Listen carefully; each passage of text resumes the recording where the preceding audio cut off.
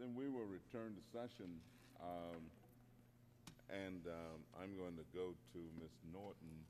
Uh, Mr. Marchant hasn't gotten back yet, and we'll just go to uh, Ms. Norton for her questions.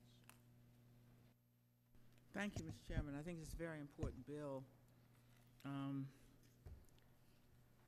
And one that you have uh, done the kind of oversight that is respected before changes are made in existing legislation. Um, I don't have a, a a great many questions for these witnesses, however. Um, I'd like to just say a word about the COLA adjustment, which has come up time and again in, in our hearings. Um, I saw the, the appropriation committee of the Defense Department um, adjust the COLA for DOD employees, some of whom, for various reasons, were captured by the same problems because of the uh, new pay uh, system as the GAO employees. So guess what? They went to one of the most powerful committees, uh, uh, subcommittees in the Appropriation Committee, and they got their COLA. Um, I want to know um, if you see uh, any justification. I indicated when we were discussing um, the changes that I had recommended for this bill to equate the kinds of, of independence that the appointing authority has in the executive branch with the kind of authority that the speaker and uh, and the minority ought to have here and in the Senate. I I must say that I don't uniformity for its own sake doesn't work with me, um, but inequality doesn't work either. There are good reasons sometimes for changes, and if they are justified, then of course, seems to me if they're functionally justified, they should occur. Looking to the COLA, uh, would either of you see any adjust any justification uh, for making people who do not receive their COLA in the years that uh, have been acknowledged without, at the same time, making these employees whole for the entire period? I mean, could that possibly be justified? Um, In Cars- other words, yeah. could you get a little bit pregnant? If you concede that you must make them whole or for a couple of years, aren't you already pregnant? Go ahead and have the baby. With, with regard to the uh, 2006, 2007 situation, you know, we think we've worked with subcommittee staff and have come up with a a really reasoned and practical approach for providing the, the uh, cost of living adjustment to those employees who did not receive the cost of living adjustment at that time. Uh, That would be provided in a lump sum payment to them, as well as their salaries adjusted uh, going forward.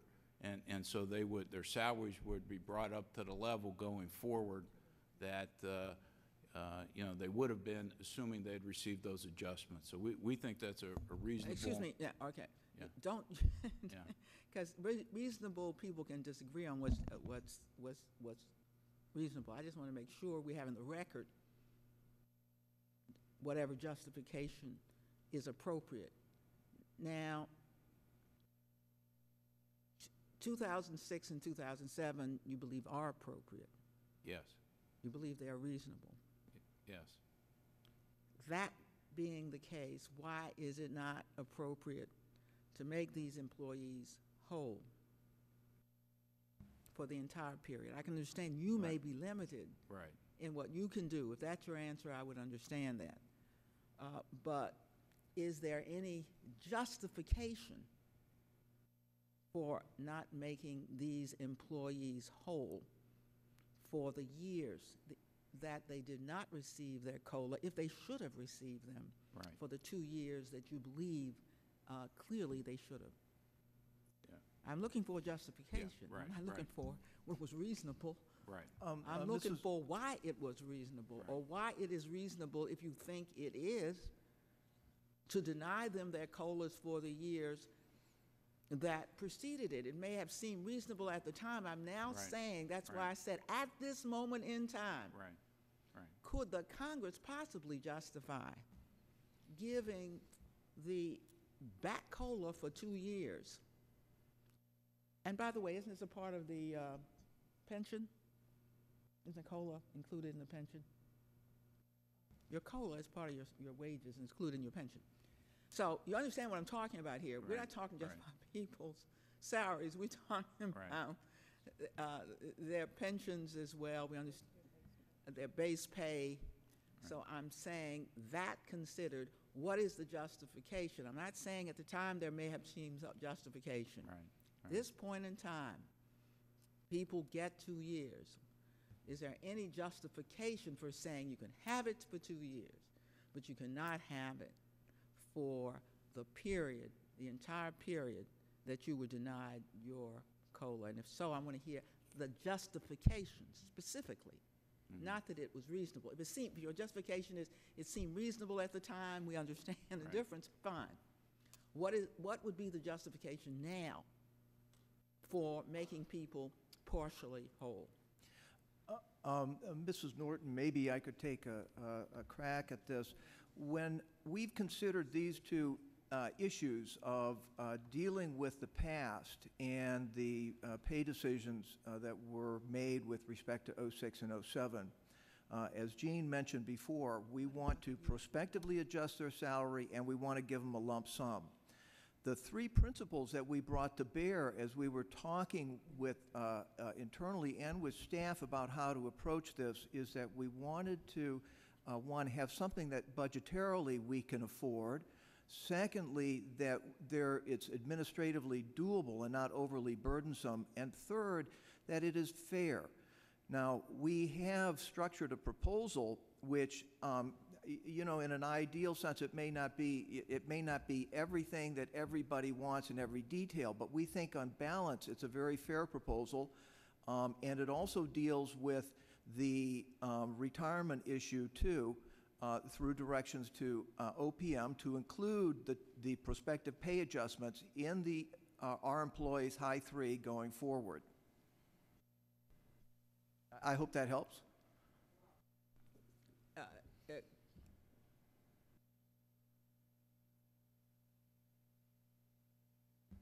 According to the staff memo, um,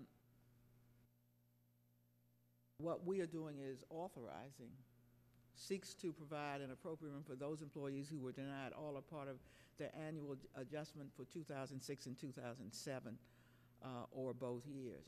Are those the only years, that- per- Yes, perhaps those- that makes them yes, whole? Yeah, those Right. are the only, those are the only two years. All Thi- right. thi- This takes care of everything in the past. Thank you so Yeah, yeah, prior to that, Congresswoman, I'm sorry, I didn't understand either, either. In, in, in basically, up to 2005, we were giving the same across the board as the executive branch. We So didn't it's only for those years? Only for those years, and the floor guarantee provision we're seeking, that's also included The in what? there. Uh, it's a floor guarantee going forward. Yes. That would take care of the issue going forward as well. We're hoping to never talk about this issue uh, aga- again. Talking about putting that issue to rest. Yes, yes, that is our All right, objective. so we are fully pregnant, the baby has been born, all right? Yes. Uh, Thank you very much. I- was- I was as- confused on the As Ms. years. Shan has pointed out to me, I'm not able to do that. But, but, but I- but I am able to be empathetic, and I can try. Well, like, like every, every father, you all were very necessary. If you want to cut off these metaphors, I'm perfectly willing this point. Um, Enjoyed, the part of me that still, that still teaches law, I enjoyed our conversation on, um, on um, the, the uh, effort uh, I'm seeking in in Chairman's bill to equate what happens in the executive agencies with, with GAO as well. And there was some thought that maybe there were some agencies, smaller agencies, where you, you, the agency head uh, may appoint the uh, IG. Perhaps that is the case. Um, I must say I'm familiar with many uh, agencies, having headed one myself, and am aware of no agency of any consequence where Congress hasn't appointed a GAO, and that may be because Congress looks at the size and importance of the agencies to public policy. It wouldn't be the size alone, uh, because agencies differ vastly in size. Um, but I, I do want to get on the record that uh, in terms of, of the kinds of work the GAO does, um, which depends upon your independence, uh, would you believe that for an agency where um, of consequence, whose policy concerns were of importance to the public, that an independent IG would, would, would help its or assist it in being credible to the Congress of the United States and to the general public. We definitely support the IG concept and the principle, and we're prepared to ha- have ourselves held to the same standards as any other agency, uh, and we believe firmly in that process. I mean, that, that is why we've had an Inspector General created administratively for over a decade. So we, we have voluntarily put that system in place the way we have for many management uh, principles and, and laws that are applied to the executive branch that don't normally apply to the legislative branch or, or GAO. And so we're very committed to that. I mean, we have put forth the statutory IG provision in, in our bill in an attempt to further enhance the independence and autonomy of that position. And, uh, you know, we're willing to entertain, uh, you know, discussions about the best way to appoint that person to have credibility. You know, the only, uh, there are only uh, one political appointees, maybe two, in GAO altogether. One's the Comptroller General position, which the Congress creates a list of at least three people with a congressional commission, sends names to the president. The president can ask for additional names, but has to pick from that, from that list. Now, that's different, you know, because we're in the legislative branch than it would be for just the president to pick somebody on their own for a presidential appointee in a legislative branch agency. So there are differences. The only other political appointed position in GAO has been the Deputy Comptroller General, and that's been vacant for a while because that has not worked. Uh, That process hasn't worked. And while we were originally seeking to change that process with this legislative proposal, given the departure of Mr. Walker, we're, we think those things ought to be held in abeyance for a while. So, And uh, Mrs. Norton, um, I, I would be happy to supply the committee for the record the list of uh, uh, uh, the entities in the executive branch. I don't want to pass judgment on whether they are or are not of any consequence at this moment, uh, where the heads of the agencies appoint the IG. In the legislative branch, uh, the architect of the Capitol, the Librarian of Congress, and um, I believe the public printer all appoint the um, inspector generals in their institutions. and, and I'm certainly open to having consultation with our oversight committees as, as part of this process. I mean, I think that just makes sense so that you have confidence in that individual. Well, I certainly want to commend the um, GAO for understanding that when Congress hadn't appointed one, at the very least, uh, uh, he should appoint one. And I do want to indicate, I certainly have seen nothing to indicate that the lack of, of, of formal independence has affected the PAB or has affected the IG or has affected the Comptroller General. I really have not. As I indicated to you, I'm sick and tired of Congress waiting until something happens before it then runs to to do the obvious. Uh, that that that that really is all I'm about because Chairman was doing a number of other things in the bill. We don't just shoot bills through here did seem uh, uh, the, the, the appropriate time. I certainly don't think the, far be it from me to say the architect of the Capitol, Library of Congress, and the public printer are not agencies of consequence, but you'll forgive me if I do not equate them with the General Accounting Office, which then gets to pass judgment on everybody in the United States government, much to their uh, displeasure, because whenever there's a GAO talking about you, it normally isn't saying anything you want to hear. So, so, and so I, I, I must say, if those are, are, are the agencies, they tend to prove my, my point that the, that um, I, I, I, my own sense is that as a member of Congress, uh, want to acquire things of of their constituents, we have an Office of Compliance. And it says we're going to apply the same laws to ourselves. If uh, those of us who, who sit in, in stations of power of one kind or the other are most vulnerable, terribly vulnerable, if in fact we don't live up to the same standards or structure ourselves by the same standards. So without, without meaning, in fact, finding uh, sat in hearings and heard the general counsel uh, testify about the employee matters. That seemed to me to be a straight up and down counsel who looked at the law and just called it as she saw it. So uh, the last thing I'm saying is that I see some evidence, but I have to tell you, I, this, uh, this committee is part of oversight and reform. And it is, the reason that we have oversight and reform, a whole committee on that, uh, largest committee in the House, is, is precisely because um, there are so many things that blow up. And then it is our job to look at why it blew up. And then to say, why in the world didn't somebody do something about it? The reason is it wasn't broken. It wasn't broken. And uh, in the global economy, in the, the United States better figure out this is not a world of ours any longer. This is not about economics, but it is about the habit of the Congress of saying, unless it's broken, we aren't doing anything about it. So I would like to do something about it this time, and I thank you, Mr. Chairman.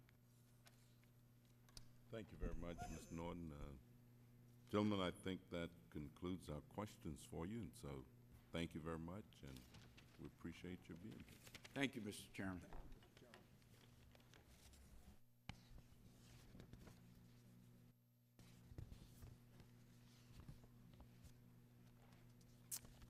We will now go to our second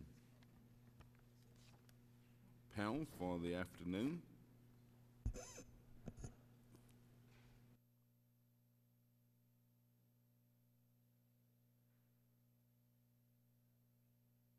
Panel two is Mr. Paul Coran. He is the chairman of the GAO's Personnel Appeals Board. The Personnel Appeals Board adjudicates personnel disputes involving employees or applicants to GAO as well as monitors equal employment opportunities at GAO. Ms. Ann Wagner is the General Counsel for GAO's Personnel Appeals Board. And I see that you're both standing, so I'll just stand with you and administer the oath. Do you solemnly swear that the testimony you're about to give is the truth, the whole truth, and nothing but the truth? The record will show that the witness has answered in the affirmative. Thank you both for coming, and thank you for both for being here.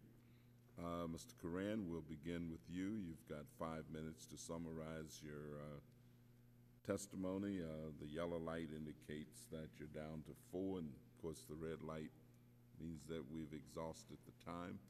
Thank you very much, and you may begin.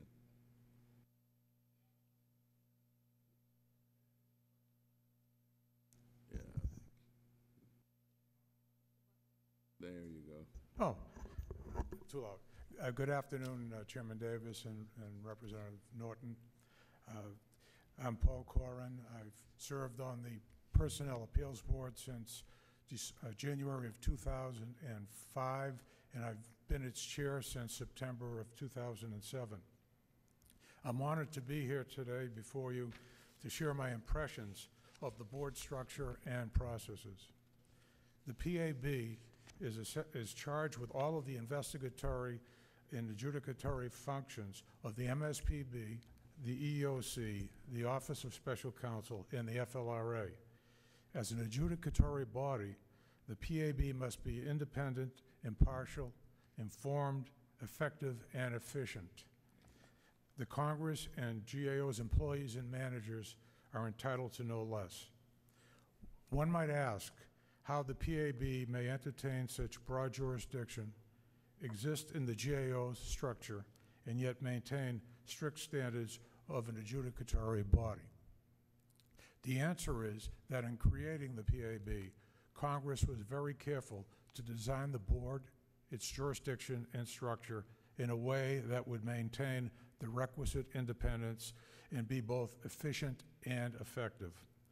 I believe that the PAB is structured to and has consistently performed its statutory mission very well by providing a just forum for re- resolution of employment disputes and by providing independent oversight of equal employment opportunity at GAO for nearly 30 years. My perspective I derive from uh, serving a term in the uh, uh, so-called School of Hard Knocks. Before joining the PAB, I served for 36 years in federal employment and labor law capacities in both the executive and legislative branches. As a neutral with the NLRB, the Department of Labor, the old Federal Labor Relations Council, and the Office of Compliance, and I served in advocate roles at two ends of the pole, as a president of a local labor organization and as a management attorney with the Department of State. These experiences allowed me to observe and participate before an array of federal sector employment adjudication agencies with government-wide jurisdiction. I've also had the opportunity to observe and participate before boards which are limited uh, to the executive branch foreign affairs agencies. In preparing for today, I reviewed the excerpts from last year's hearing and noted Representative Norton's concerns about board members' independence, in particular, how they are appointed. I would like to address those concerns. The PAB's independence goes well beyond its separate physical location in a building closer to Capitol Hill than it is to GAO. It goes beyond its complete freedom to create its own personality, such as in its own report covers not having the iconic GAO blue covers. It goes beyond its ability to keep its employees in the GS, GS General Schedule pay system while the rest of GAO became pay banded. It goes beyond the fact that the PAB has its own logo, logo and its own website. In my three years with the PAB, I've had no reason to conclude anything but that my colleagues and I serve as totally free agents in meeting our statutory responsibility. As part of the GAO, we enjoy the excellent logistical resources that GAO provides us for our administrative needs. In prior service, I've seen a small freestanding agency overburdened with having to provide for nearly all of its administrative needs. I am grateful that we are not so diverted from our mission. At the same time, our autonomy evokes the sense of actual separateness throughout our staff and through the board. I recognize that the appearance of independence can be as important as the actuality. While the Comptroller General appoints the PAB members, that act is the result of a nearly year-long collegial process. I'm, I'm running short on time. I want to summarize that process just by saying that the process is exhausting. Em- employees and their involvement is integrated throughout the process. And it, uh, and the Comptroller General may appoint the, uh, the members, but it's only uh, after this careful vetting process. Uh, I'm sorry that I've, I've gone past my time. Go right I- I, yes? You can finish up. Oh, okay. Uh, I, I, I'd like to point out the people with whom I serve, uh, which is indicative of uh, uh, the quality of uh, appointments through this process. They all, and throughout the his- history of the board, they have all been labor and employment law specialists. Some have represented management, some have been employee advocates, uh, some have been neutrals. Uh, I myself have moved uh, across those, those roles. But I've never worked with anyone on the board uh, who would ever serve in a situation where doctrinaire policies uh, govern rather than applying the rule of law and equity to cases on individual uh, uh, basis. Uh, I I do believe that the, uh, the board has fulfilled its function through its uh, decisions and its oversight on EO matters throughout its uh, almost uh, 30 years of existence. And I would be pleased to answer any questions the committee may have. Thank you. Thank you very much, uh, Ms. Wagner. Thank you, Mr. Chairman. Uh, Good afternoon. Good afternoon, uh, Mrs. Norton. I'm here at your request, uh, Mr. Davis, to answer your questions concerning the Office of General Counsel's uh, investigations into a number of charges that have been filed uh, with the PAB uh, General Counsel's Office dealing with GAO's pay system. As a preliminary matter, I would just like to uh, reiterate what I had stated in my previous testimony before the subcommittee, that the, um, the, the PAB General Counsel, by statute and regulation, conducts investigations into charges that are brought before it in order to make a reasonable grounds determination as to whether a violation has been committed, and if so, to offer representation to the charging party to adjudicate that claim before the Personnel Appeals Board. Uh, Therefore, the entire thrust of our investigation is really directed at determining whether that offer of legal representation is to be made. The ultimate decision-making with regard to those claims is, of course, uh, statutorily committed to the Personnel Appeals Board itself, which uh, makes findings of facts and draws conclusions of law with regard to the claims. The, with regard to the status of the investigations, I would point out that there were 274 charges that were filed in toto, uh, dealing with various aspects of the GAO pay system. Um, these charges can generally be characterized as having challenged uh, the market-based pay system that was established at GAO, the elimination of the 2006 and 2007 annual adjustment, uh, otherwise known as a COLA. The charges also raise the question as to, uh, or raise claims as to the deviation of the GAO COLA in 2006 and 2007 from that which was accorded the uh, executive branch employees under the GS schedule. Some of these charges also challenge the use of a standardized rating score in uh, calculating the performance, performance-based compensation that's afforded uh, employees at GAO. In addition, some of these charges dealt with the calculation of locality pay, the use of a speed bump uh, with regard to some of the band level pay ranges, the lack of uniformity in the rating system across the teams at GAO, as well as uh, some challenge to the Band 2 restructuring decisions. In addition, there were 14 individuals who challenged the pay decisions uh, based on uh, claims of discrimination. That is, some of them have alleged that the pay decisions were unlawful uh, based on discrimination due to age, race, as well as sexual orientation. Since these charges have been filed, eight individuals have withdrawn, which has left us with 266 charges currently pending in our office in investigation. Our office has not completed its investigation, and I am particularly sensitive at this point to um, enter into any public disclosure with regard to our preliminary assessment as to the merits of any or all of those claims. However, the question as to the Comptroller General's statutory authority to eliminate the COLA entirely in 2006 and 2007 was a question that was raised as part, as part of the Band 2 restructuring cases that my office handled last year, which settled and, and, which was the basis of the testimony that I gave last year. So I do feel, uh, uh, I don't feel constrained with regard to um, uh, any uh, issues of confidentiality in discussing that issue with you today. Uh, my uh, determination with regard to the statutory authority question has not changed since last year. I do believe that the plain language as well as the legislative history of Public Law 108-271 uh, manifestly supports the conclusion that the Comptroller General lacked statutory authority to eliminate the COLA entirely.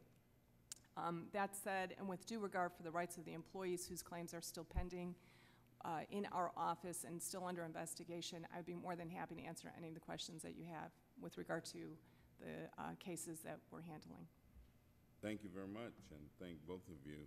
Um, As you know, the subcommittee staff has been working on pay adjustment provisions for the FY six and seven for GO, GAO employees who met expectations but did not receive an across-the-board adjustment for those years. What I'd like to know is uh, your views on the retroactive provision that I've included in the legislation that I will introduce to address the problem, and also your views on the across-the-board floor guarantee provision that will ensure that in future years, GAO employees will get the general schedule annual pay adjustment. Mr. Chairman, I um, have to uh, say that I don't have a, I've not, it would be entirely speculative to, um, to pass uh, judgment or to address the questions directly. Um, I was given a, a draft uh, proposal, proposed language uh, Friday or Monday.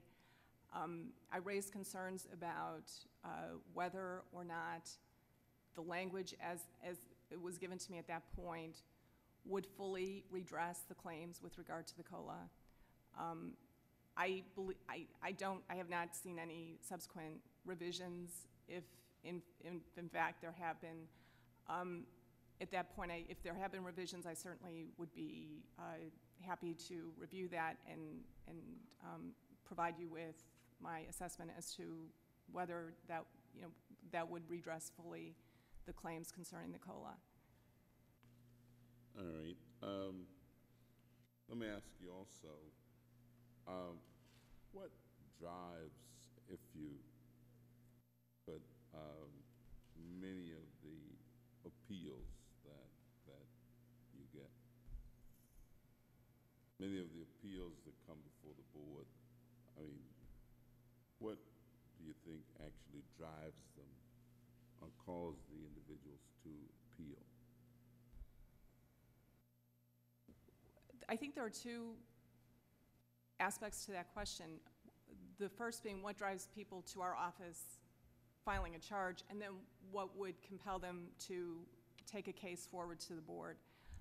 I think that um, in my short experience as the general counsel at the Personnel Appeals Board, um, I, I have seen that employees uniformly come to, to our office because they genuinely feel that they have somehow their rights have been violated or that they have been wronged in some way. If they can't articulate specifically how their rights have been violated, um, I, I find that perfectly understandable. It's, but it's genu- genuinely that they feel that they've been wronged. After we have had an opportunity to do an investigation and to examine the factual and legal grounds for that, their claim, they then have to step back and, and analyze whether there's a viability from a legal standpoint uh, in terms of going forward. That's assuming, you know, whether or not we offer to represent them or not.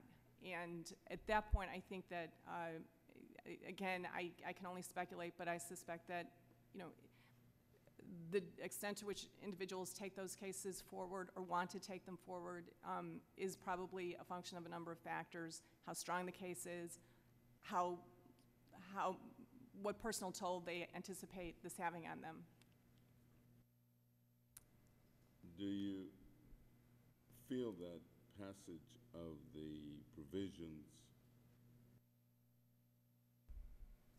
relative to the claims before the PAB that pertain to the denial of across-the-board increases for '06 and '07 would decrease uh, the number of appeals that would in all likelihood come before the board? again, without having the language to, ha- having really reviewed the language um, that's maybe currently under consideration, if I, if I could simply state more sort of broadly and gen- generally, if the legislation that is being proposed plainly manifests congressional intent to make these individuals whole with regard to their annual pay adjustments, then I think it, it,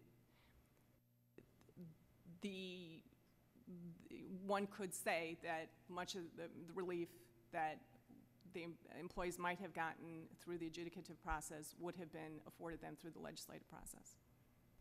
Thank you very much. I have no further questions. Uh, Ms. Norton? Could, could I have your view if uh, a, s- a system may be used to determine uh, job-related matters, such as promotion, for example? Uh, Does that system uh, have to be validated? Uh, Representative Norton, we, we only get it at the board level after it goes through the general counsel's investigative process. We, we get uh, live cases where the employee has exhausted the administrative process and is, either the general counsel represents the employee if the employee accepts, or else the employee comes forward. And uh, what you're, what you're bringing up is a question of a possible uh, legal theory of a charge that someone may claim that the standards by which they were not uh, promoted uh, do not, they have an adverse impact uh, on a prescribed uh, basis, and, and they haven't been validated. That, that could be a case we, that could properly be brought before the board and would have to be adjudicated uh, based on I the didn't ask fact. you for the outcome, I asked you about the standard. I'm asking you whether the standard of validation of, of um, matters used for various uh, decisions in, in an employee's um, um, work have to be validated. I'm not asking you for the outcome, obviously they have to show whether or not they're job-related. I'm asking validated, of course, means job-related. you know. If, if I, uh, I would be, I'd be speaking just personally and not, not for the board, but for my uh, dealing in these cases, particularly at the State Department where there was women's class action, uh, where the written examination had an adverse effect on, on women and it couldn't be shown to be strictly job-related. Uh, The department settled that case because the, the matter hadn't been validated, yes. Thank you. Ms. Wagner, isn't that the current state of the law? That, that um, um, terms and conditions used for such matters as promotion, I just give a, uh, or a system of ratings, uh, you can name it, that, that's subject to um, challenge, uh, if in fact um, the entity, could be a private employer or federal agency, cannot validate the, um, the use of the particular system. I- The question as to whether what, um, what factors must be taken into account with regard to, uh, Now, don't answer another question. See, I'm not even asking you. I would, I wouldn't, I wouldn't begin to ask you what factors. I'm asking you uh, a conclusion of law based on what I presume you understand about the existing case law. That's all Mr. Coran gave me. He couldn't give me, in fact, uh, anything pertaining to, a- uh, to a, to a specific case. If I were to ask a Supreme Court justice, do you, what does, uh, a conclusion of law, he, he could probably tell me what the law is when applied to a specific fact. He couldn't tell me anything because you'd have to, you'd have to look at that set of circumstances. I'm simply asking whether uh, the factors uh, that an employer use, public uses, public or private, uh, to make judgments about major aspects of a person's employment, such as promotion or how the, uh, the person is rating. You can you can name it. I don't know what it is because I don't know what job I'm talking about yet. simply asking, the bottom line question is, uh, would not that system have to be validated as a matter, uh, does not the case law show that? The case law talks uh, specifically in terms of a Title VII challenge, uh, in a in Title VII challenge to a personal action. You- Oftentimes, a, a the party will look to whether the factors were validated. I don't think that the law supports the concept that there's any one particular method for validating a particular system. And the reason, the Well, only reason why I was talking earlier is D'accord, that I, I- I will right. grant you that. under the. I wouldn't, I wouldn't ask you about any of the specifics of validation. It's a very technical process. It varies from job to job. It's a very difficult process. I'm simply trying to, to ask the bottom line question about validation itself. Yeah, I mean, I think that it would, it's reasonable to say that any decision, uh, it- whether it's a, you know, promotion or, or pay, would have to be a, arise out of a system that's valid. Yeah. That, that, that's all I'm asking. Just let me understand, I understand uh, your role, Mr. Coran. Your role obviously is, is much like the adjudic- adjudicatory role of anybody, of any, of any similar body, for example, in the executive branch, um, where you sit in judgment and you wait uh, for uh, the specific cases to come before you. Could I ask whether the general counsel renders advice to anybody other than the PAB? Who renders advice to the Comptroller General? The PAB General Counsel does not render advice to the Comptroller General, and who, who, uh, I would, I, I would assume that the Office of General Counsel at GAO provides, uh, So they have their own y- yes, general counsel. yes. Um, Could I ask you, um,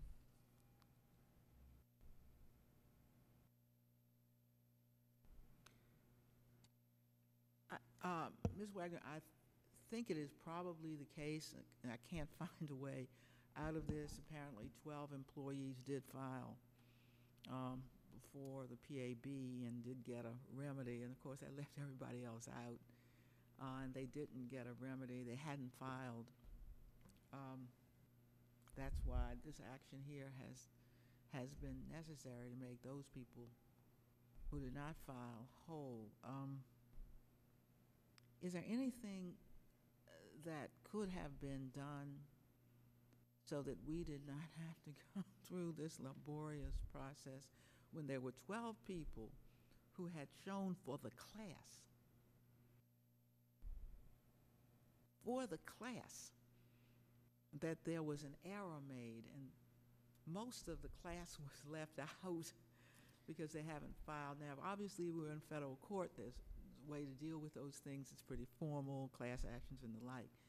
But here you had this anomalous situation where the, the PAB had found, uh, I believe that, I believe you had argued, I believe you had argued that the Comptroller General lacked the authority uh, to deny the COLAs. I believe Mr. The PAB found an, If I To- can, I'm to sorry. that, to- to that effect, and that as a result, 12 people who filed, they settled before it went to Yes. the PAB.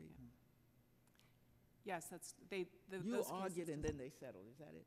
You, you made the, the- the, you made the case that you believed he, he, the Comptroller General, lacked the authority. At that point, a settlement occurred, is that how? it- The 12, if I can just address the, I- what I believe is the underlying concern, which is why this, the the relief wasn't extended more broadly um, from the the 12 to the rest of the uh, 308 individuals who were denied COLA in 2006. At the time that the 12 individuals, actually, there were more, um, but the time those individuals filed, the case what they were challenging, the personnel decisions that they were challenging, had to do with the, the restructuring. It, they all arose out of the, the split of the Band 2 analyst and specialist workforce.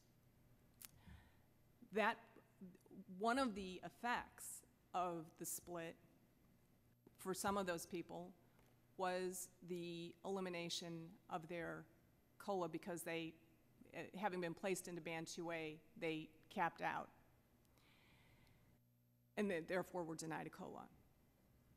But the fundamental thrust of those cases was, and then and remained throughout, whether this restructuring process itself was valid, and whether those individuals, I mean, assuming, and, and ultimately the case, ultimately though, the, the decisions had to do with the per, whether those individuals were demoted. And the factors that were taken into account in that process with regard to whether those 12 individuals were demoted not only took into, not only involved sort of general policy decisions that the Comptroller General made, but ultimately came down to their performance. So that in assessing whether this was the type of case that would be amenable to a class action, I had to look at whether it was going to require individual evidentiary showings with regard to those, each particular individual, and it just didn't strike me that that was going to be amenable to class action treatment. If the impact with regard to the COLA was in fact more broad-based, but the 12 cases that I had before me that we were investigating had to do with the demotions of 12 individuals. And again, I, it was a, it was a judgment call with regard to whether ultimately those cases were going to be amenable to class certification because it was, because the evidence was going to have to ultimately, in order to demonstrate that they should not have been demoted, if all of my theories about the, the policies were flawed or were wrong, then ultimately we were going to have to show that each of those people qualified to get into Band 2B. And so to do that on a broad basis was going to be, was beyond the scope of of course, that may be the case, Ms. Wagner, but, but if the underlying issue was whether um, uh, the system itself was job-related, regardless of the individual differences in performance, those individual differences would have to have been judged by a job-related system for each aspect of their performance that was involved. Is that not in fact the case? There, what was at issue there was whether the, their ratings over the last three-year, the, the three-year period prior to the restructuring were legitimate reflections of their qualifications to remain in Band 2B. The issue as to yeah, I mean, eh, eh, there was an issue concerning, and we would have been prepared to challenge the rating system as such, to show that these individuals' ratings did not accurately reflect their performance. I don't, it did not, the, the challenges that we were looking at were, again, specific to these particular individuals in that we were, we were looking at issues like, did, you know, this individual's performance manager accurately capture that individual's performance during this period of time, as opposed to the sort of systemic issues that I think are implicated by your question. I just want to say for the record, uh, Ms. Wagner, your answer does not indicate that you're in touch with the um, complexity of validation cases. When somebody challenges um, the system for promoting, let's just give me a very simple-minded answer, but it's the way it's happened and where these, these, these uh, notions have been developed in an entire corporation with hundreds of thousands of employees, the complaint will say these people up and down the corporation who are black, who are female, you name it, um, have systematically gotten performance ratings. There is a pattern of performance ratings pat- reflected in pay, et cetera, uh, that is less than, let us say, white males. If you, if you want to see something complicated, much more complicated than 300 and some employees who you say you have to capture the individual job, their performance on the job, their qualifications. That is precisely the, the, the nomenclature, the, the words that uh, describe validation cases. And the reason that employers go to all the trouble to validate is once you get into the morass of trying to explain differences the way you are, you're out of court.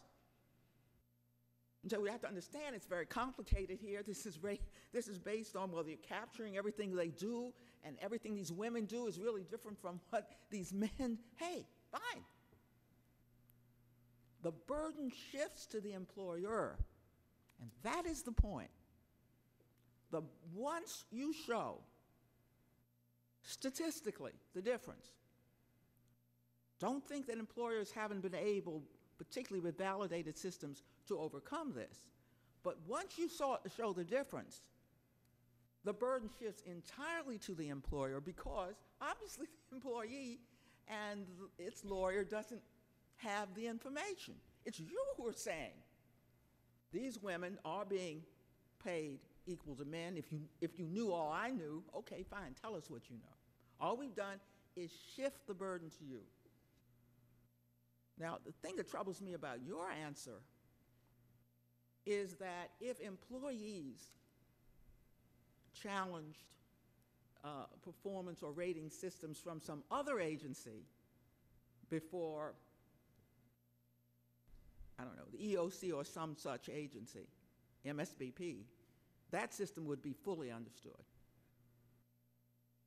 So I'm bothered by the notion that, you know, that there difference, there's some difference here, or that you're saying to me there's some difference here, given your independence that we in the legislative branch have granted you and the PAB, which we saw as no different from the kind of, of, um, of, of application of the law that we would expect for other employees. Mrs. Norton, I wasn't suggesting that we treated these cases any differently than how they would have been treated by any other similar agency in the federal government. In fact, there were cases, as I pointed out earlier, that our office handled 12, but there were initially more cases, more individuals who filed charges challenging the restructuring decisions, which again, I want to point out is different from the GAO order concerning pay to some extent. I mean, there was, those were two separate processes. The three individuals who filed discrimination allegations concerning the restructuring were, by virtue of the mechanism that is set forth in the PAB regulations and GAO orders, were transferred, in effect, to the GAO's Office of Opportunity and Inclusiveness for investigation, and they're still there. So I don't, I, we did not take it upon ourselves to examine these claims for the determination as to whether reasonable grounds existed to believe that the restructuring process was discriminatory because that, those questions were to be addressed first at OOI. They can still come to the PAB once that process is completed. Or they, Thank you, thank you, Ms. Wagner, and I understand this. I That's why I asked you for the law. And I asked Mr. Coran for the law, too. And Frankly, it's black letter law, Ms. Ms. Wagner. Let me just ask both of you a, a final question. I'm not asking you anything that I think is outside of what you know, and I don't think saying what the black letter law is, or that somebody settled it, uh, you know, you settled the case too. Uh, I'm not saying why you settled it, you, the, the GAO, but you settled the case. uh, after looking at the law. Uh, I, I, let, let, let me ask both of you, um, are you prepared to follow existing anti-discrimination law as it applies to other federal employees? Absolutely, unqualified. Ms. Yes, Ms. Wagner? Yes. That, that, that's really all I'm getting at. I want to make sure that we, we're not still dealing with a, with a different standard and in, in, in the GA. Oh, fine, my final question is, would either of you having, have any objection to the Speaker of the House, the Majority Leader of the Senate, uh, together with the Minority Leader of the House and the Minority Leader of the Senate, appointing the members of the PAB, uh, the General Counsel, uh, and the IG. Well, it's, that's certainly, uh, Representative Norton, within the purview and the best judgment of, of Congress, uh, who should serve in such positions that are un- under Congress. Uh, However, m- my view is that the present system has worked extremely well because the employees are, are so integral to the selection process and the way the screening has taken place. There's You- been. You notice, Mr. Coran, that I have been at great lengths to say that I regarded both your work and uh, your work, PAB's work, and Ms. Wagner's work to be um, above reproach during the, the controversy that's been before us. So I'm not indicating whether it's worked well or not. I asked, did you, would you object? Would you see any problem to these four members being the appointing authority? That's my only question. Okay. Uh, I I certainly couldn't object to that. Ms. Wagner? I have no objection to that. Thank you, Mr. Chairman. Thank you very much, uh. Norton. I have no further questions, and thank you all very much.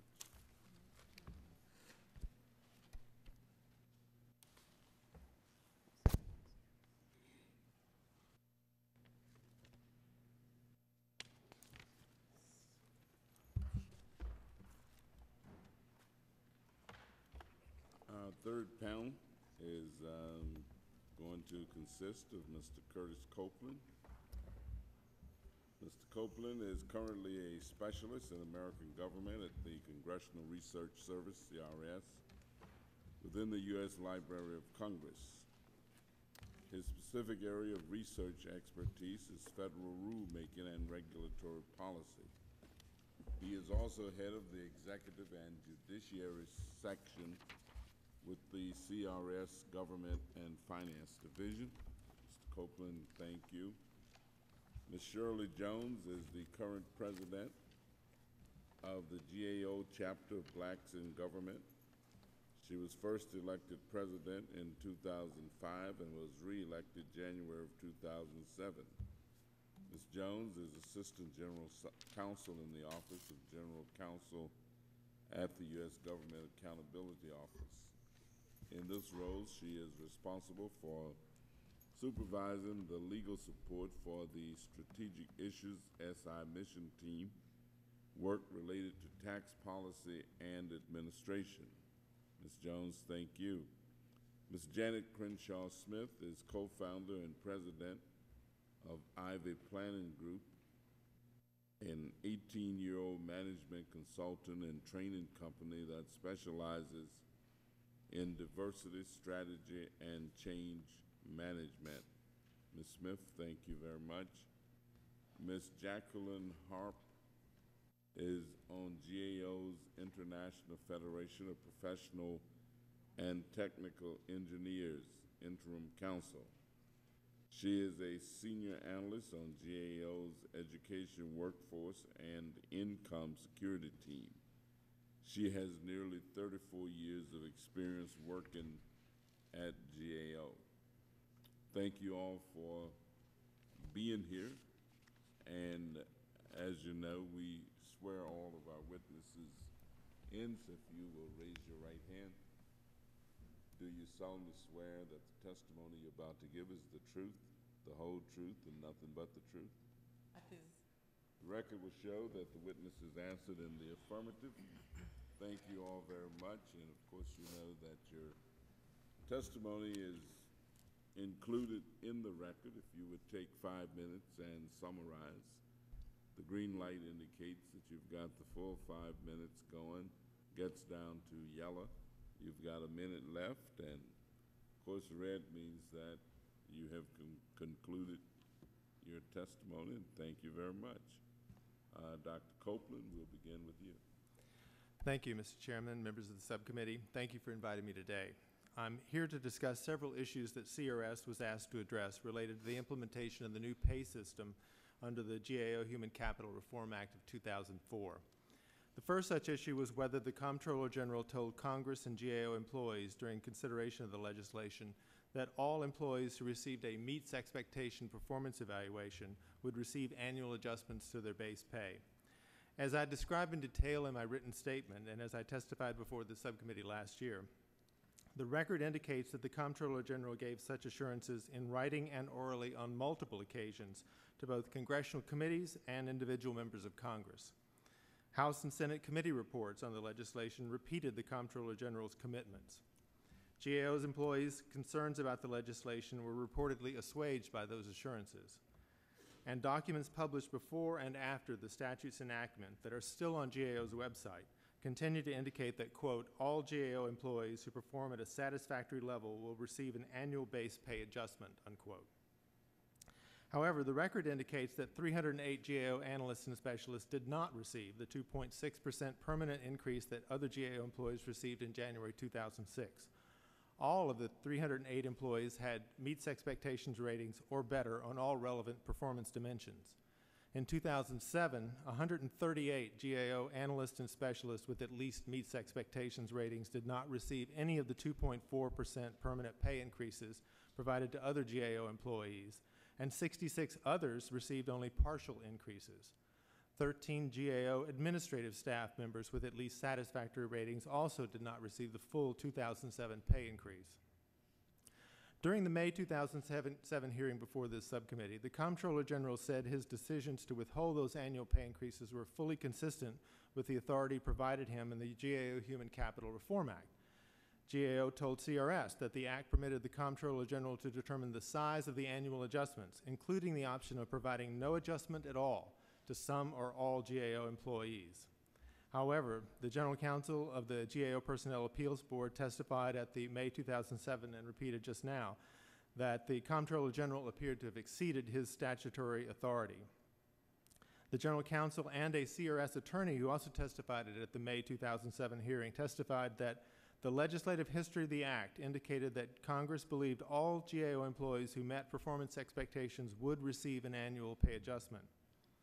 In February 2008, as a result of negotiations with union representatives, GAO agreed to provide all of its employees with a meets expectation rating at least the 4.49% increase that was provided to general schedule employees in the Washington, D.C. pay area. However, this action does not restore the salaries or income lost by the employees who did not receive the 2006 or 2007 annual adjustments. For example, a table in my testimony illustrates uh, because those two adjustments were not provided, a GAO employee who was making 110,000 a year in 2005, who was placed in band 2A, which is roughly a grade 13 in uh, general schedule, will have foregone a total of more than $14,000 in base pay increases by the end of 2008. If that employee then retires under the civil service retirement system, her pension will be nearly $2,700 a year lower than if she had received the 2006 and 2007 adjustments. Therefore, after a 20-year retirement, the employee will have foregone nearly $68,000 in wages and pension since 2005. A variety of factors can influence the size of the wage and pension differential, including the employee's starting salary, whether the PBC is provided as base pay, and whether the employee received an annual increase in one year or the next. Mr. Chairman, that concludes my prepared statement. I'd be happy to answer any questions. We will proceed to Ms. Jones. Mr. Chairman and Representative Norton, I am pleased to be here today to discuss the results of the survey that you requested on the Band 2 restructuring and the Watson Wyatt market-based compensation study. My name is Shirley Jones, and I am an Assistant General Counsel at GAO. I had the opportunity to testify before you last November in my capacity as president of the GAO USACE chapter of Blacks in Government to share the concerns that our chapter had previously raised regarding the impact of the Band 2 restructuring on African American staff in particular. In addition to being BIG chapter president, for the last four years, I have also served as the attorney's representative to the Employee Advisory Council. And since your hearing last May, I have worked with the EAC committee that conducted this survey. I will highlight just a few points. The survey was sent to all GAO employees except SES and interns. 71% of eligible employees responded. To provide a picture of those responding, demographic questions were asked regarding position, years at GAO, age, race, ethnicity, sex, and location. Not surprisingly, the highest area of non-response to the demographic questions was in the answer to the question about race identification. In addition, the highest non-response to the survey itself was from Asian and African American employees. Several survey questions asked about staff involvement, input, and transparency with regard to the Watson-Wyatt study. Starting with the Watson-Wyatt focus groups, 19% of administrative professional and support staff reported participating compared to only 4% of analysts and 8% of attorneys. Only 4% of those responding reported being interviewed by Watson Wyatt for the study. Of particular note, no Band 1 or Band 2 respondents reported being interviewed by Watson Wyatt. A much higher number of staff, 94%, reported that they listened to CG chats or attended town hall meetings. An overwhelming majority, 81%, of respondents reported that they felt they were only slightly involved or not at all involved in providing input to management on the transition to market-based pay. Similarly, 81% also felt that employee input was ultimately only slightly or not at all considered. A majority of those responding had concerns with the level of transparency of the Watson-Wyatt study and the GAO decision-making process. We also asked about satisfaction with GAO's market-based pay system. There were notable differences based on position, age, and race. Band 2As and Band 2Bs, respondents aged 40 and over, and African Americans had higher percentages of respondents who said they were generally or very dissatisfied with GAO's market-based pay system. 81% of respondents thought morale in general was worse or much worse now than before the transition. 48% responded that their own morale was worse or much worse now. A higher percentage of respondents aged 40 and over and African Americans reported that their morale was worse or much wor worse. Turning to the restructuring of Band 2 into a Band 2A and Band 2B, 54% of respondents disagreed or strongly disagreed with the restructuring, while 29% strongly agreed or agreed. Certain demographics disagreed or strongly disagreed at a higher rate. African Americans, again, Band 2A staff, those at GAO 10 years or longer, and employees 40 years or older. Regarding the current general climate at GAO, lower percentages of Band 2 analysts and administrative professional and support staff, 33% and 38% respectively, felt their professional contributions at GAO were highly or very highly valued compared to attorneys and Band 3 staff with that rate at 67% and 63% respectively. A lower percentage of respondents with 10 or more years of service and respondents aged 40 and older felt that their contributions were highly valued. A lower percentage of African Americans, only 27% compared to other racial groups, felt that their contributions were highly valued. 1,113 survey respondents provided substantive narrative comments at the end of the survey, which we coded into 29 categories. Although not generalizable to the overall GAO population, we noted that more than twice as many respondents specifically commented that the Band 2 restructuring was damaging to employee morale or otherwise provided disincentives than those that responded that it was, it was the right thing to do, 217 compared to 74.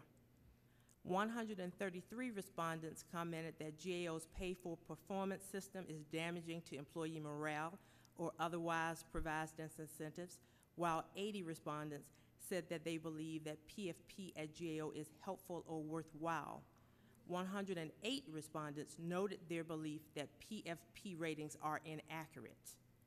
107 respondents noted their belief that GAO employees should receive, receive the same cost of living adjustment as employees at executive branch agencies.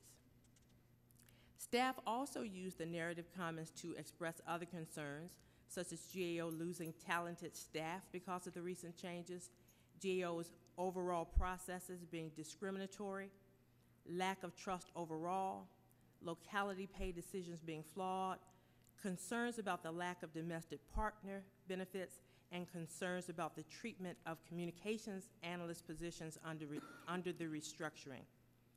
It is important to note that some narrative comments conveyed positive thoughts, including the belief that the Comptroller General should be given credit for moving the agency in the right direction, that GAO has excellent benefits, and that our work is cutting edge.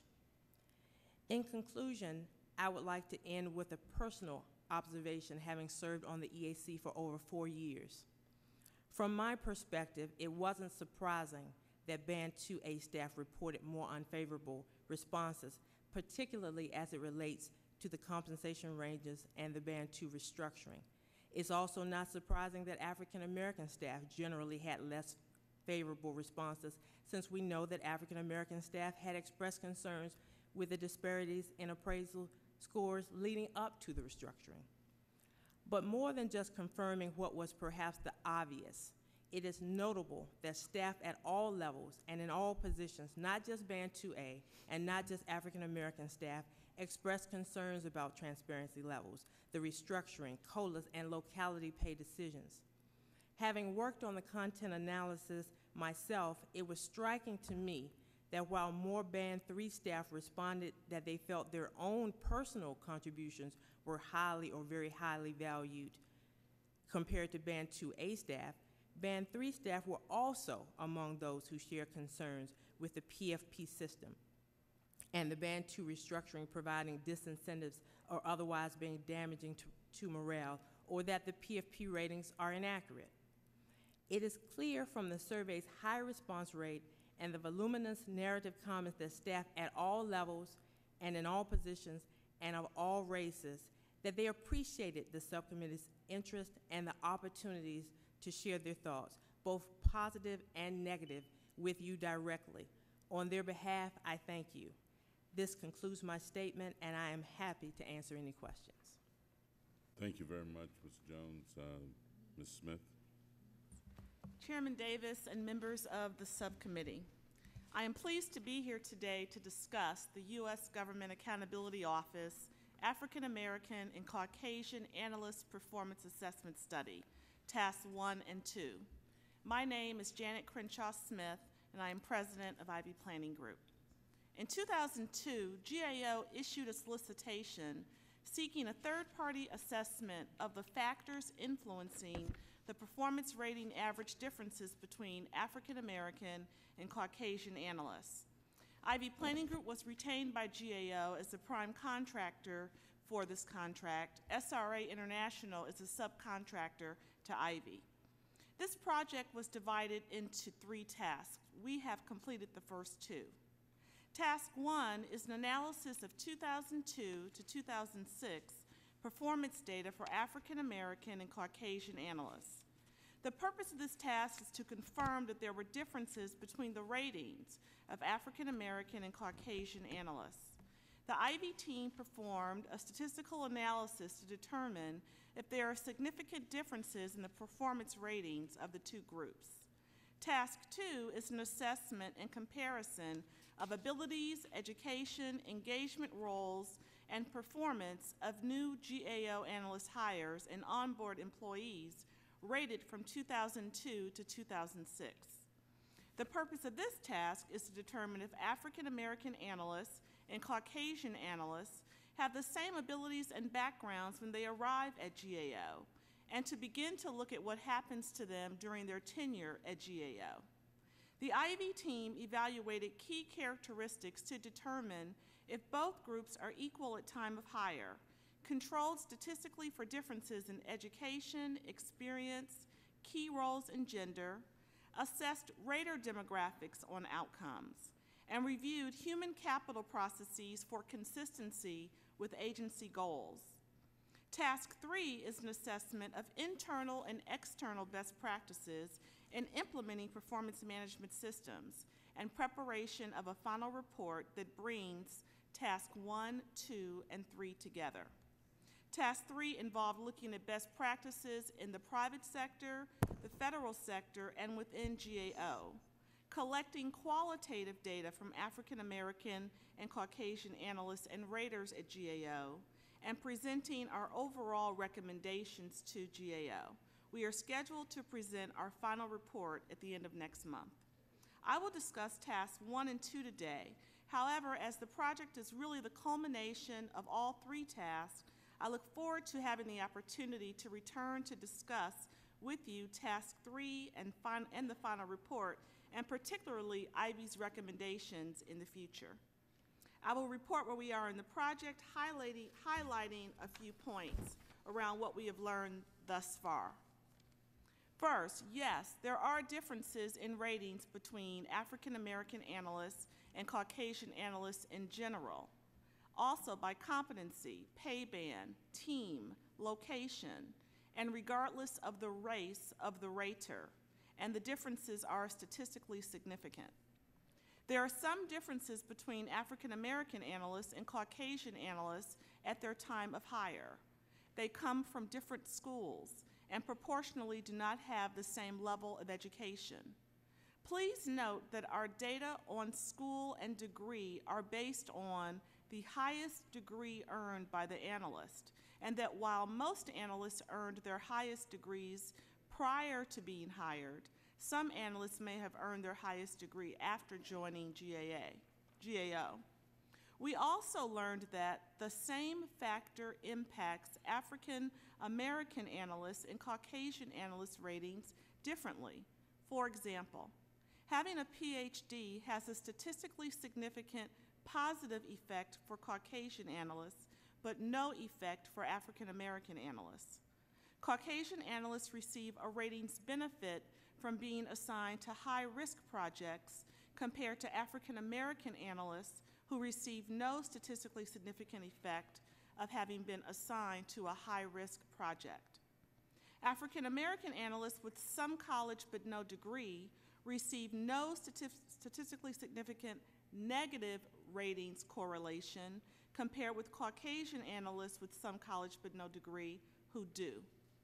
The final report will provide our full synthesis and analysis of the data in the context of our overall findings, and more importantly, our, recommend our recommendations to mitigate these differences. I look forward to continuing the open communication with you and your staff and reporting those findings. Thank you for the opportunity. Thank you very much, Ms. Smith, and uh, we will proceed to Ms. Harp. Thank you, Mr. Chairman. Mr. Chairman.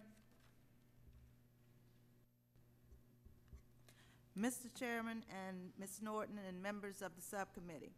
My name is Jacqueline Harp, and I am a senior analyst on GAO's Education, Workforce, and Income Security team. I am also a representative of GAO's newly elected union, including a bargaining unit of about 1,900 employees affiliated with the International Federation of Professional and Technical Engineers, IFPTE. I am pleased to be here today to discuss GAO reforms and the impact on staff of human capital transformation efforts, such as the restructuring of one pay band under pay for performance, changes to employee classification and compensation using a market-based pay study, and proposed legislation that is before the Congress today referred to as the Government Accountability Office Act of 2007. Over the past two years, GAO employees have experienced major changes in the way we do our work and how we are compensated.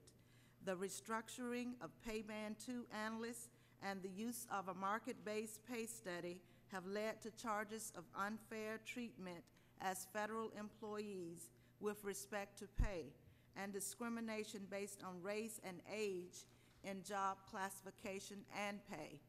While GAO employees continue to have a tremendous respect for the agency and the service GAO brings to the Congress and the American people, GAO's analysts have formed GAO's first bargaining unit to address our concerns, and now we have a way to ensure that our concerns are heard and actions are taken.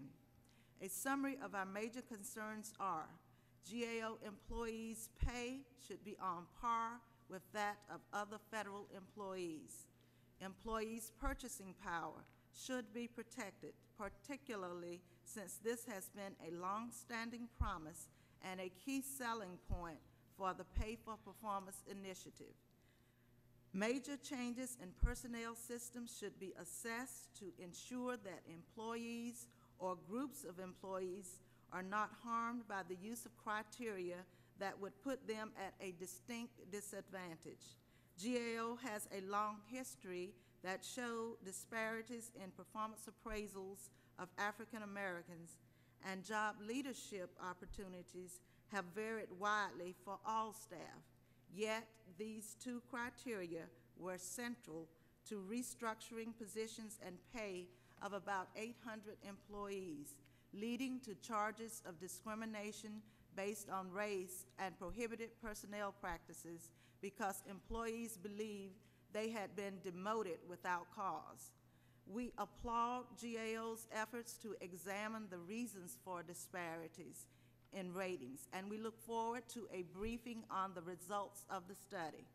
We appreciate and endorse the legislation proposed to remedy concerns raised with GAO's implementation of its new authorities, pay parity and protection of employees' purchasing power.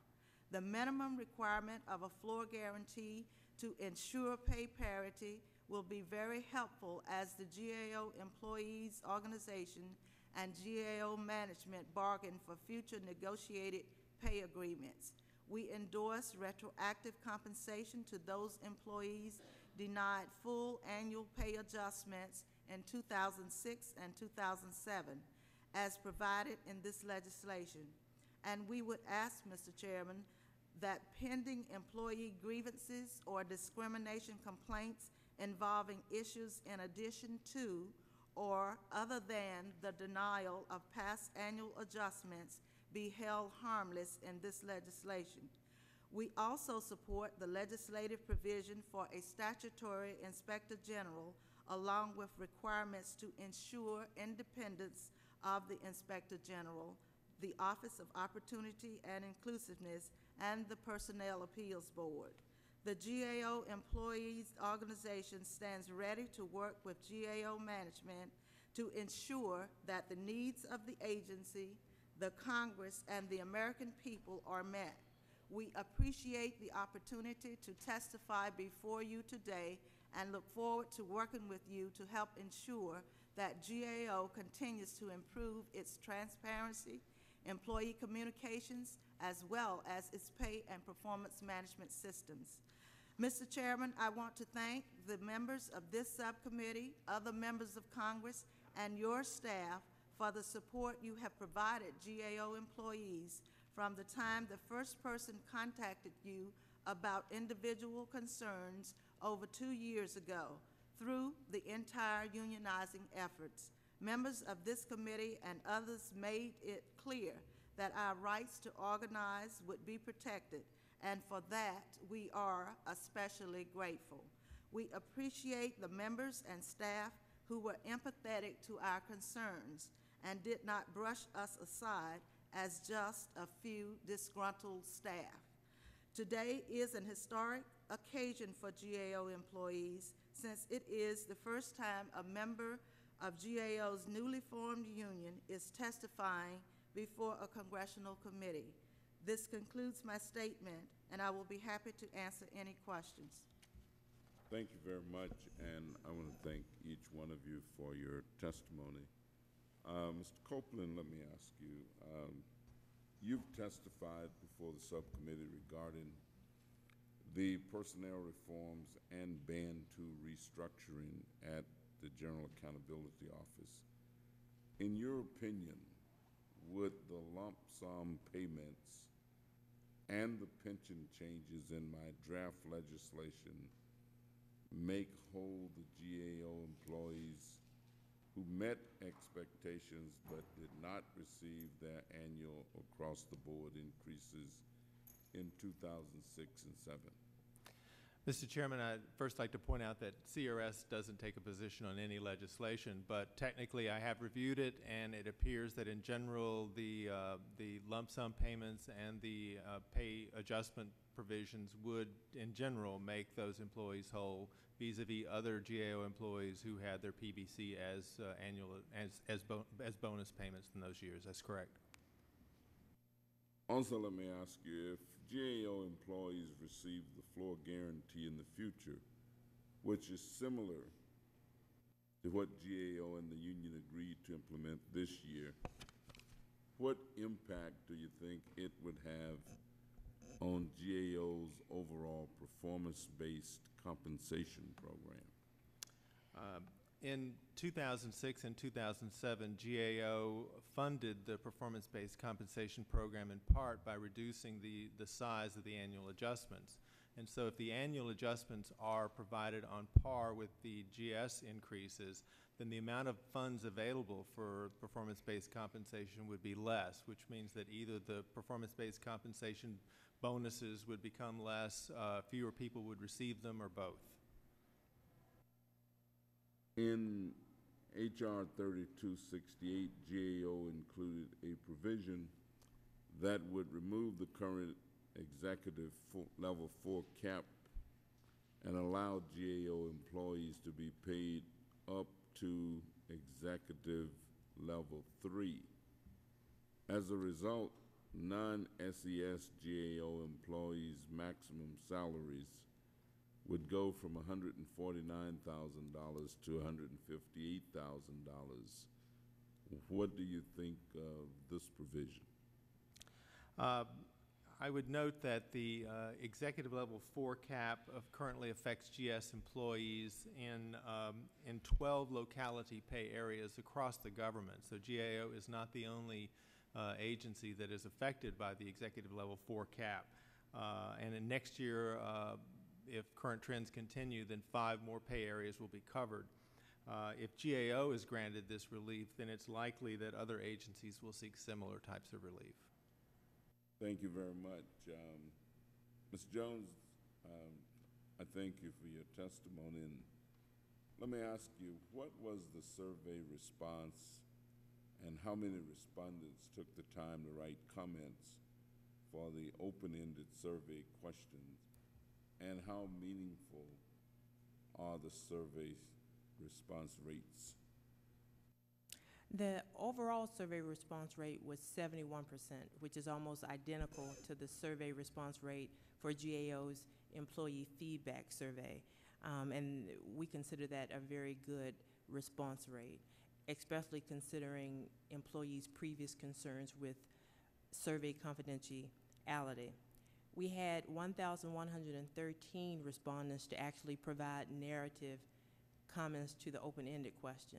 And having been a part of the two-person team that did the content analysis, I can tell you that they were voluminous, and they were indeed thoughtful and considerate of the issues going on at GAO, and I would even characterize many of them as passionate.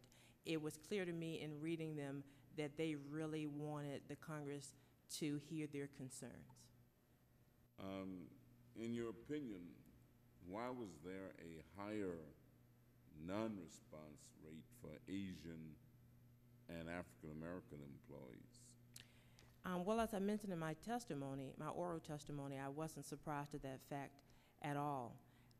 as I mentioned a few moments ago, there have, have been previous concerns with survey confidentiality um, across the board at GAO, but that concern is always heightened for minority staff because generally there are fewer of them on the teams.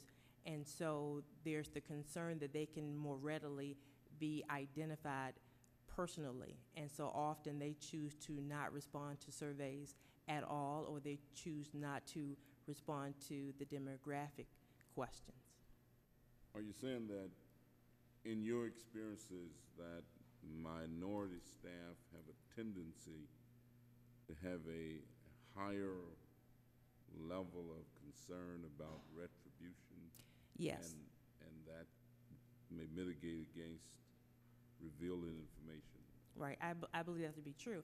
And even though in our um, testimony, our full written statement, and the products that we pre- previously supplied to your staff, we noted concerns with underrepresentation of the staff, and we noted concerns with the missing demographic information.